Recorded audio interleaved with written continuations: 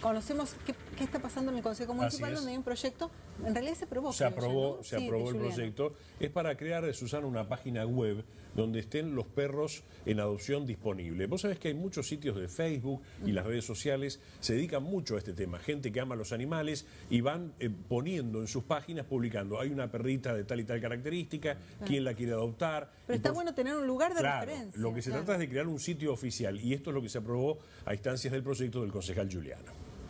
A través de un sitio web podrá accederse a un registro de perros en adopción.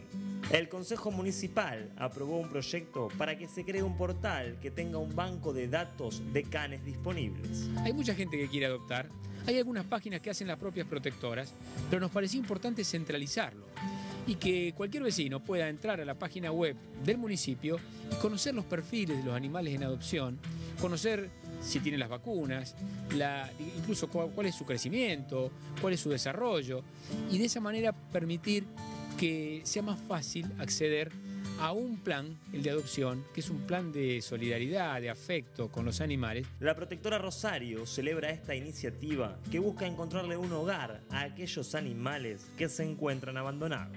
Es maravilloso porque esto de las redes sociales, este, si bien nosotros venimos trabajando muy bien con la página de Protectora Rosario, realmente la gente se encuentra con animales perdidos o encontrados, con la voluntad de, poder adoptar un animal y tiene que, digamos, investigar, sobre todo cuando no está este, eh, familiarizado con el tema.